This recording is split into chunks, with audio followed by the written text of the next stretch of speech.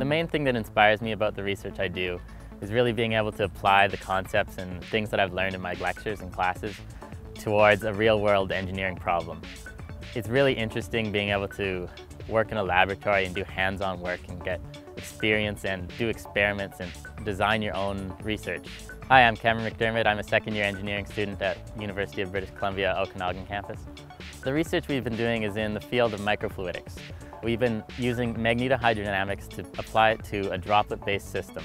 This work is the first of its kind because nobody has ever done droplet-based manipulation using this technique. Basically, we apply current and magnetic field to a droplet in order to manipulate it in the ways we want.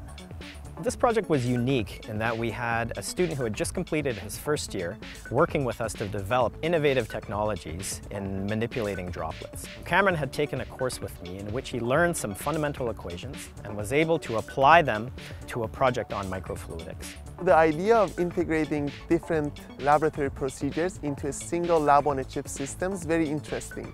However, in places with limited resources, it's very challenging to fabricate these devices. What Cameron has done is to use basic laws of physics and engineering and everyday material to fabricate a new generation of lab-on-a-chip systems.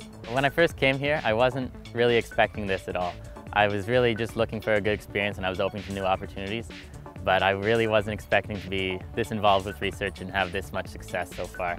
I'm hoping this research will inspire others and help others maybe to do their own research and just help them with their own studies. I hope people can build off of the research and even myself, I'm planning on working towards another project similar to this that expands on it and really focuses more on the applications of what I've done.